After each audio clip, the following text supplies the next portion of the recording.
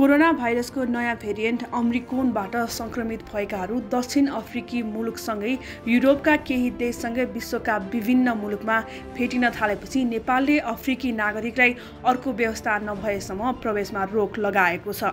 गृह मन्त्रालयले अध्यागमन विभाग त्रिभुवन विमानस्थल कार्यालय र सीमा क्षेत्रका प्रशासन कार्यालयलाई अफ्रिकी देशका नागरिकहरूलाई प्रवेश गर्न नदिने व्यवस्था मिलाउन निर्देशन दिएको छ।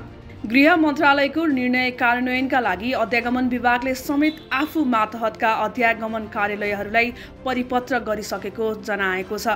कोरोना भाइरसको नयाँ भेरिएन्ट अम्रिकोनबाट सङ्क्रमित भएकाहरू दक्षिण अफ्रिकी मुलुकसँगै युरोप र विश्वका अन्य केही देशमा पनि भेटिन थालेसँगै विभिन्न मुलुकहरूले नियन्त्रण तथा रोकथामका लागि कडा निर्णयहरू लिन थालेका छन्।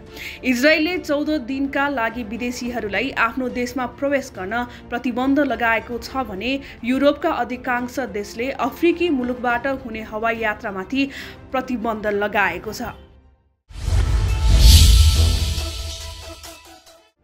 भोजपुरको रामप्रसाद राई गाउँपालिका र हतुवागढी गाउँपालिकालाई जोड्ने कावा खोलामाथि निर्माण भइरहेको पुल बन्दा बन्दै भत्किएको छ। स्विस सरकारको सहयोगमा करिब पाँच करोड रुपियाँको लागतमा उक्त पक्की पुल निर्माण कार्य भइरहेको थियो।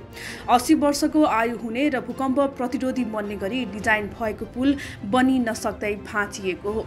भोजपुर माने भन्ज्याङ रानीबास घोडेटार सडक खण्ड अन्तर्गत पर्ने सो पुल बाह्र फागुन दुई हजार छयत्तरमा शिलान्यास गरिएको थियो।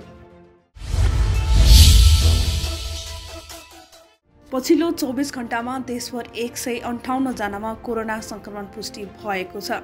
देशभर कोरोना सङ्क्रमण मुक्त हुनेहरूको सङ्ख्या तिन सय बयालिसजना रहेका छन्। त्यस्तै कोरोना सङ्क्रमणबाट थप दुईजनाको मृत्यु भएको स्वास्थ्य मन्त्रालयले जनाएको छ। स्वास्थ्य मन्त्रालयका अनुसार पछिल्लो चौबिस घन्टामा छ हजार छ सय चारजनामा आरटिपिसिआर परीक्षण गरिएकोमा एक सय चौवन्नजनामा पोजिटिभ देखिएको छ भने दुई हजार तिन सय चौधजनामा एन्टिजेन परीक्षण गरिएकोमा चारजनामा पोजिटिभ देखिएको जनाएको छ। पछिल्लो चौबिस घन्टामा कुल आठ हजार नौ सय अठार नमुना परीक्षण गरिएको स्वास्थ्य मन्त्रालयले जनाएको छ।